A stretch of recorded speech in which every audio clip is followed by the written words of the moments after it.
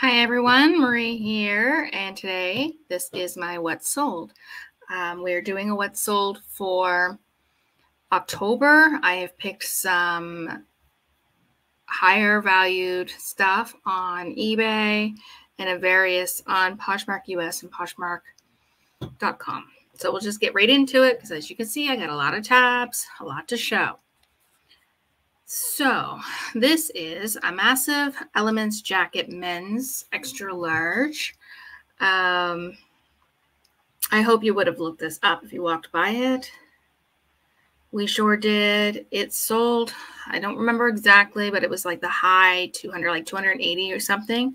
Now, my eBay is in US dollars and my Poshmark Canada is in Canada dollars. So I think I managed to profit $295 Canadian after all it was said and done. So here's the pictures for you, something to keep an eye open for. Um, this brand seems to be very good. It's um, this jacket, this particular jacket was um, up there in the $300 mark. So then we have a Filson sweater. This was brand new with tags. I had a really good month in October. So I don't normally find any of this stuff I'm about to show you. So these are my one-offs almost. This was new with tags, like I said. Sold for $238. This was a fairly new item. Then we have this vintage, and I even spelled vintage wrong. I spelled it with an L. Um, vintage Walls jacket, uh, men's large. I took a chance. I seen some up. I don't think any particularly sold in this um, tree bark camo print, but I think this might have been like a limited edition. So I took a I, th- I thought I took it as offer, but maybe not. Maybe it's sold full price for 149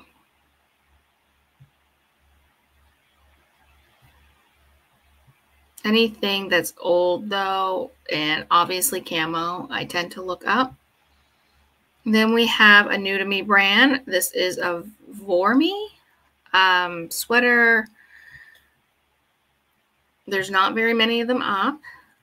And I didn't have this very long. This was a size small in men's, sold for $113. Um, just an outdoor brand, I guess. I don't know. Like it's, I just happened to, it, it felt good. So then I thought, well, I'll give it a try and look it up. I normally stay away from the men's stuff, like men's small stuff, but this one turned out really great. We have a Todd Snyder shirt jacket. This was a heavier Todd Snyder. It didn't have pockets here, but it had pockets there. This sold for $95.95, and this sold very quickly.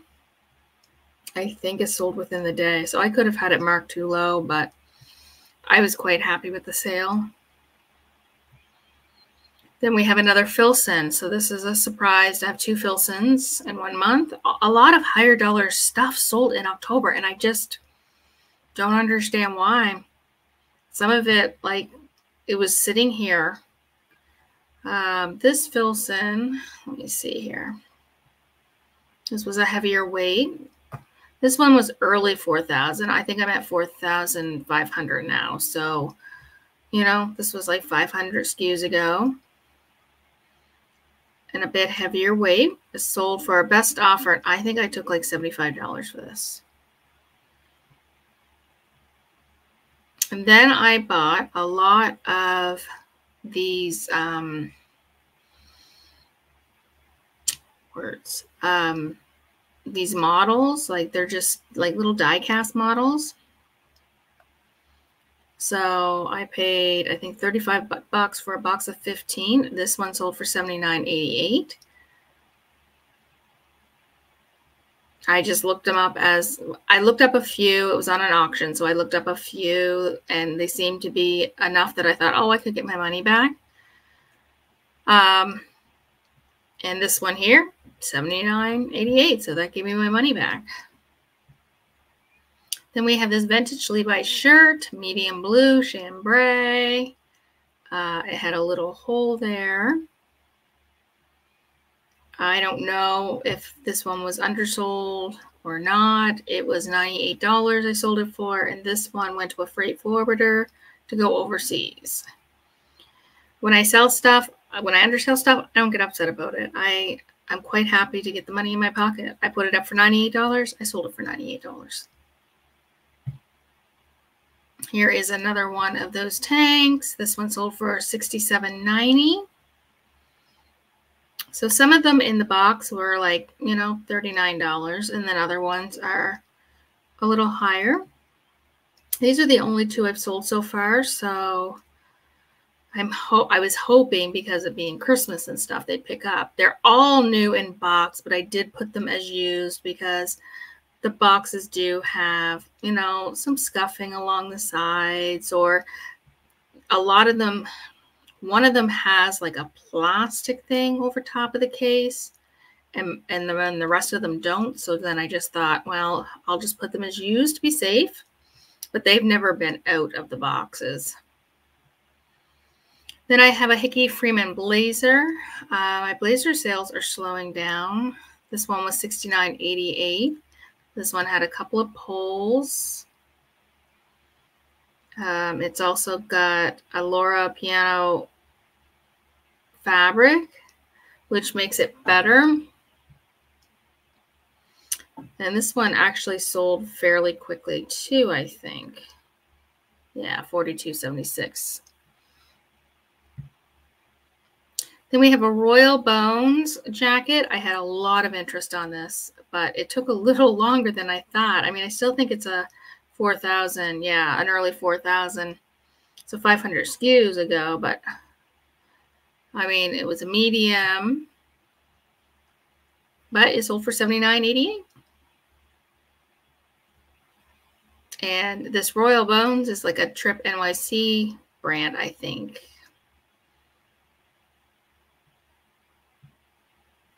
We have Outlier, which is another great brand that I love finding. I don't find it often, but when I do, I'm very happy. And you're not going to find anything on the back um, I'm pointing at the screen like you can see me. And, um, but you have to reach in and you'll see this. These went for 82, 88. And that was the 42 SKU too. So all the stuff, heavy dollar stuff, a lot of it was um, new stuff. So here we have a Jose a Jose Bank sports coat. I don't normally pick this up, even though I do think that it might be going good. I haven't checked it out lately. Um, not for much, but I think it sells well. But this one sold for $69.77, but this one was new with tags, so that's why I picked it up. It was also like a traveler's jacket. It seemed to be going well when I looked it up. Um, yeah, retail on this was $598 but this one was up at 3700 so. Lastly for ebay we have a pair of cp shades pants. Um, i didn't look these up. I did take a best offer of around $60 i don't think it was a very big offer that they took off. Um, but these were nice wide leg pants that nice leg and looky look they're linen so i was surprised to sell it because these sold i think well, these sold in October, so after the summer. And they were still in the 4,000. So pretty much everything I sold was fairly new, like all the higher dollar stuff. So over to Poshmark Canada. So these are Canadian prices. We have in a Goldie bodysuit. This is the first time I've found anything a Goldie. So I thought, I'm picking it up. I, I, I didn't even look it up. I was a little disappointed when I got home, but I still put a bigger price on it and it still sold for $43. So, and this one was fairly recent too. Reformation shirt. I don't find this often either. So, some of these brands, this was a size large, very tiny though. Like, I guess it must have been a, um, a stretch crop top type of thing. And this sold for $36 on Poshmark. We have a Chico's sweater sold for $38. Um, I do buy Chico's with new tag too. This was a size three, so that was an extra large. That's nice. I mean, Chico's is expensive, $109 for a Chico sweater. So it went for $38 Canadian, but I would have paid $7.19 for that. And let me see here. I'm pretty sure this was fairly new too. Yep. This one is new, but very old. This hung in my closet, I think, for probably a year. Um, I had some depilling to do on it. I, I don't know. My husband picked it up. I wasn't sure about it. Excuse me. It is a Yule Vang sweater. Um, by what I could do, by the, the research, it was a women's sweater, but it looked tiny for a large. Like, I did get positive feedback and they loved it. It was 100% wool. They paid $46. I I couldn't tell you. I don't think we'll ever come across it again. So yeah, it was fairly new, but it it was hanging in the closet for a long time. Here's a Lucky Brand shirt, 3X. I I sometimes do pick up Lucky Brand when it's a big size. And this was, you know, floral, it was flowy, it had all that nice boho looking to it. This sold for $30. Um, I don't know if this was new eh, 39, not too far back, but still far enough. Like here is a Smartwool. I put this one in here. This one only sold for $20, but it is very damaged at the bottom. Um, yeah, somebody could fix that easily if they knew how. But still, this is why I pick up Smartwool, and I'm not really worried if it's damaged or not because it still will sell let me see this one here was 3300 so it did take a little longer you're waiting for that right person that wants to buy it here's an mm Le Fleur. i have been picking this up um, this one sold fairly quickly. This is a faux wrap. Sold for $44 this is what it actually looks like. I don't i do use stock photos. You're not allowed so do as you will. Um, but I tend to put them as the second photo. And I tend to use them in places where I want to show off what it looks like. So, yeah, this one sold for $44 because it had this very light stain on the back of it. Or I probably could have got a little more. Then we have a brand new tags Rolo, uh, Rolo, Polo Ralph Lauren sweater. Uh, this sold for $63. Just a basic grandpa sweater, you know. I think, yeah, this one's been up for a little bit. And then we have a Wrangler's jacket, vintage, um, corduroy collar. I wouldn't normally pick up Wranglers, but it's a trucker jacket. It's it's nice. It's vintage. It, it, it checked all the boxes. So, and it was in good shape and a good size. I mean, it did have some staining, like a little flaw. What did I say down here? It has some light wear because it had some of these um. And I don't have a, a thing for that one. So I don't know how long I've had that one. Here we have a pair of Levi's women's jeans. This is a 501 Biggie. These are not old jeans. These are uh, new. These sold for $55. See, here's the big E. If you find the vintage ones, they would be much more money. But these are a fairly new. Um, what is this? I think it's this number right here. So I think it would be like 2020. And these went up 4,200. Here is some Live by Habitat. I'm still selling Habitat. This is a new brand that when I bought a bunch of stuff that was new with tags, um, I realized that it was actually a pretty good brand. So I'm still selling through some of my new tag stuff, but I'm I'm down to most of it's gone. And now normally I just pick up everything that I have that pre-owned because I know I can at least get 20 to 25 pre-owned. This was nice. This was $52. I really regret now not picking up more of it. I just didn't, I was testing the market and then, so wasn't all the other resellers around me. So this was 3,200 though. So it's been there a while, but some of you are waiting. Here is another Live by Habitat. This one went for 5,500. This is like a long tunic, um, short mini dress type of thing. It was sheer, so I mean you're you're waiting new with tags, so extra large. I expected them to go faster than they did go.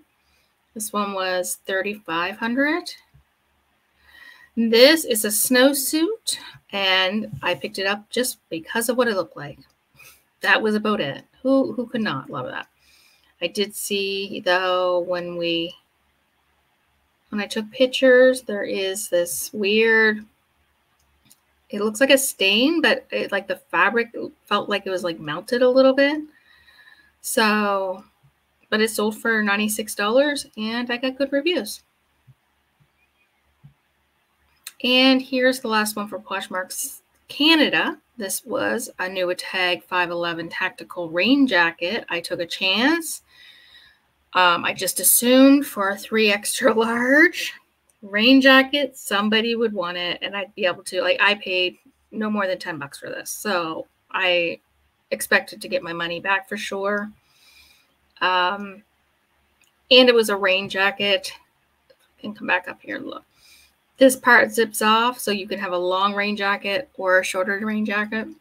So 145. So as you can see, some of these sales are adding up. Over to Poshmark US. Here is a Patagonia extra large shirt for a woman. Get your thumb hangers there. It had a little stain, a little teeny, teeny spot. And that was a newer listing. Here we have a soft surroundings. I have been a little more pickier what I'm picking up. This is like an, an open cardigan type you know, Komodo looking thing. I was hoping for a little more just because of this style and what it looked like, but I took an offer of $30 because this one was around a little longer, 3800 Here is a Rollwind sweater, um, sold for $60. So, I mean, in these cases, like $60 would have been what, 75? You know, once I transferred it over in Canadian funds, I do incur an extra cost because I pay a stallion the extra money per item, and then I pay um, the stallion UPS rate to ship my items to stallion. So there's always like around a dollar to 250 depending on how much I sell.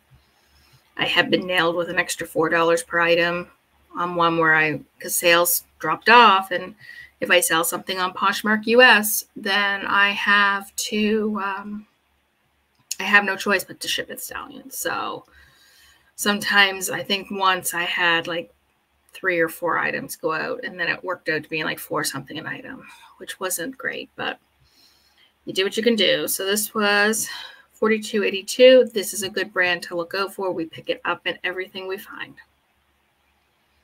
And did I show you the tag? And have I been showing you the tag? That's the question now. I'm thinking this is what you want to look out for. Here is a Tuckernuck. This is the first Tuckernuck I found after doing some research. It turned out to be a women's boyfriend performance shirt. Uh, very simple. Um, tag like. This one was 42, sold for $25. Here is Planet. This is one of my new favorite brands. I don't find it often. I wish I did because then I wouldn't have to worry about money. It sells fairly fast. This one was a very unique piece though. It had the big bat sleeve type things. Um, it did have pockets. Uh, there's the tag. this was like a one size, I assume, because there was no size tag. So I think that's what I put, uh, one size. I did put measurements because, you know, it's a very boxy fit. So that one was, you know, 4,100. So yeah, I don't think that one was around very long. Then I have this Lacoste polo shirt. Um, I put Reed here just because this looked tiny, like tiny, tiny. Um, so I just said that in this size six size is supposed to be an extra large, but um, I said the, the chest measurements were 40 inches, which looked like a medium and large instead of extra large. I mean, I didn't know if it was a boy's extra large or if it was just a slim fit. I, I was hoping that the person, I did get good feedback. So that sold for $30. I think I might have had it up too high in the beginning. That's a price drop because we've had this one 37.65. So a bit. Then we have this Mountain Hardwear jacket. This is a puffer jacket. Uh, we had this one for a while, I think. I don't know if I'd pick it up again uh, or if it's just the red. I don't know. It had some marks on the arms and it was an extra large. And I don't know. Oh, I'm so sorry. I don't know how long I've had it for. But it sold for $75 US. Then we have Ariat, which is a really good brand to get. This was just a canvasy type of workwear shirt. Sold for 27. I, I actually think I still have one that's in a gray. So I'm surprised that I still have this, but um, I do try not to buy a lot of women's Ariat that looks normal. Um, but the men's stuff I, I will pick up. Here we have a pair of Hudson's jeans, Natalie super skinny. I think I've had these for a while. I guess we'll find out. I don't pick up a lot of Hudson. Um, I'm not sure if it's just the size or the type. These were 23, 24. So yeah, this is a while back. Um, I know skinny jeans are not normally the thing right now. So I don't know.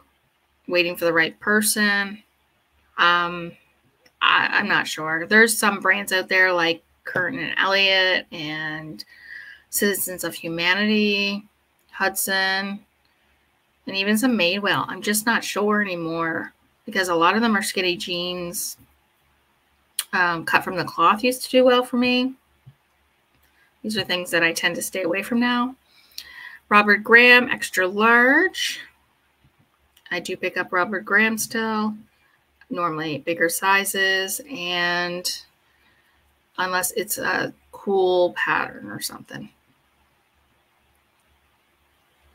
We picked up a lot of Robert Graham. What's this one? 20, yeah, 25. We picked up a lot of Robert Graham at one time. So we sold off a bunch right away, and now we're just pushing the stragglers. And lastly, Nothing big. We have an Athleta pants, women's too, skinny. These are just a pull on, I think. Uh, nope, they have a button.